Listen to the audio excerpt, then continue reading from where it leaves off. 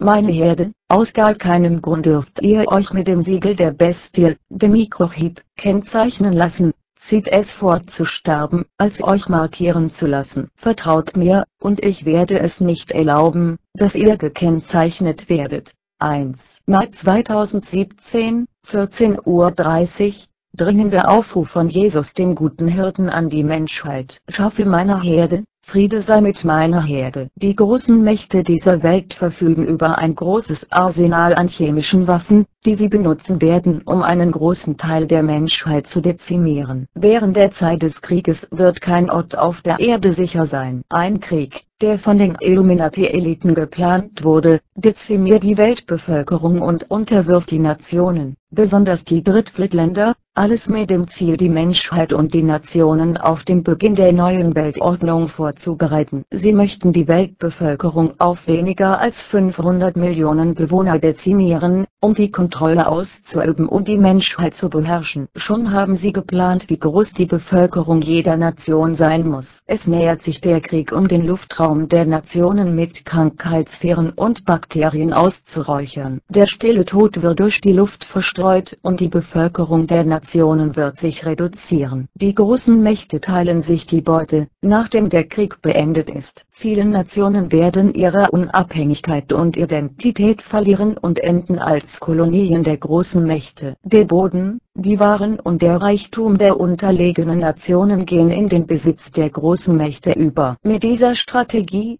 welche die großen Nationen durchführen werden, versuchen sie die Unterwerfung und Versklavung der Bevölkerung der Drittweltnationen. Damit wird die Zeit der neuen Weltordnung beginnen. In den Tagen der Herrschaft der neuen Weltordnung, die satanische Regierung geführt durch den Antichristen, wird weltweit die obligatorische Verwendung des Mikrochips aufgezwungen werden, das Siegel der Bestie. Weniger Menschen und alle Mittel der Nationen verwaltet durch die großen Mächte sind unter der Herrschaft der neuen Weltordnung. Dies wird eine der härtesten Prüfungen sein, welche meine Herde zu ertragen hat. Von neuem sage ich euch, meine Herde, habe keine Angst, ich werde nicht erlauben, dass ihr vor Hunger und Durst sterben werdet. Ich werde euch jeden Tag mit dem Brot meiner Barmherzigkeit ernähren, das erhaltet ihr durch den Glauben, das Vertrauen und das Gebet, so wie ich mein Volk in der Wüste gespeist habe, so werde ich es auch mit euch machen. Kein Schaf meiner Herde wird in jenen Tagen an Hunger oder Durst sterben,